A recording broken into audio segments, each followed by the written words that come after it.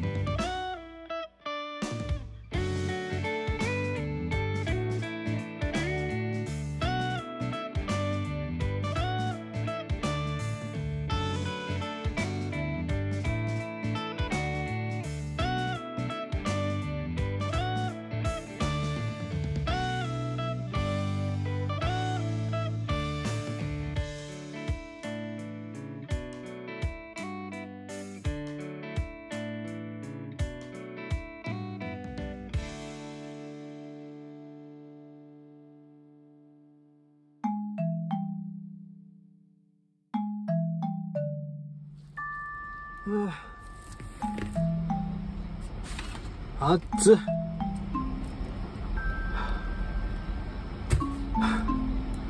ああなんとか。なんとか。なんとか。100均の。使って。こんな感じ？いいんだろうか。お疲れちゃんでした。ちゃちゃっとね。あんまり快適ではないので。とりあえず USB のファン、USB ファンを1個だけ持ってきました。それだけでもだいぶ違います。外はね、気温は低いんですけど、ちょっと湿度が高くて、ちょっとしんどいです。窓はだいたいちょっとずつ全部開けてます。慣れましたね、でも。オートギアシフト。ちょっとマニュアル操作はまだちょっと慣れてない。普通に走る分には慣れました。ちょっと。減速しそうな時に、ふってね、アクセル抜いてあげれば、ふーんってなりません。今日はこんなところでいいですかね。あとは帰、帰ってから、また、詳しく。適当にやって、寝ます。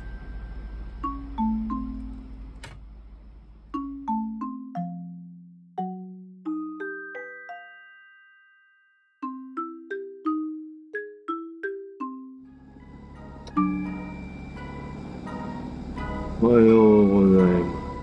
4時22分。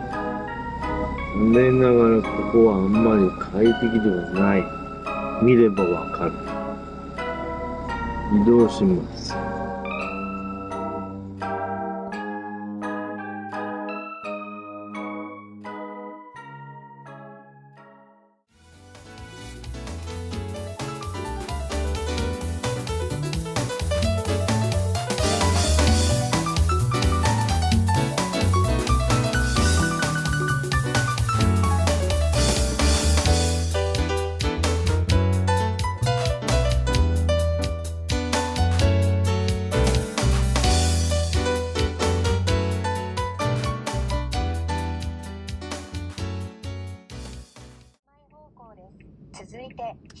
左方向です。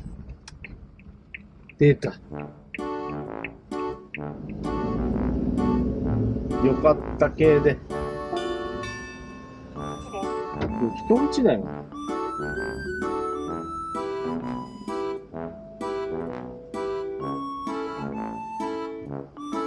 あれ行き過ぎた目的地に到着しました。お疲れ様でした。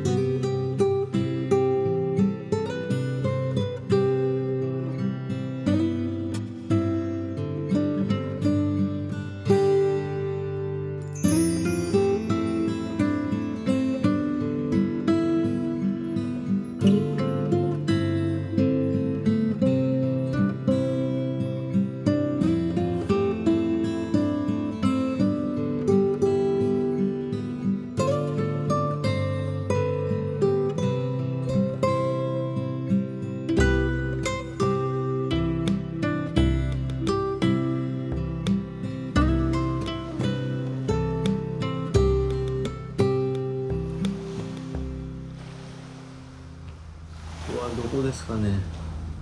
どっかの海です。駿河湾ですね。